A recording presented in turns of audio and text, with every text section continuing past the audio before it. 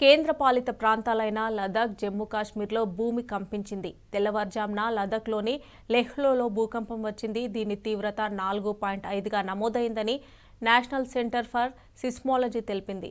భూ అంతర్భాగంలో ఐదు కిలోమీటర్ల లోతులో ప్రకంపనలు చోటు చేసుకున్నాయని వెల్లడించింది. అదేవిధంగా జమ్మూ కాశ్మీర్లోని కిష్టావర్లోనూ భూమి స్వల్పంగా కంపించింది.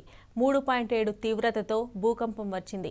ఇక్కడ కూడా ఐదు కిలోమీటర్ల లోతులోనే కదలికలు సంభవించాయని ఎన్సీఎస్ తెలిపింది. కాగా భూకంపం రావడంతో ప్రజలు ఇళ్ళ నుంచి రోడ్లపైకి పరుగులు తీశారు.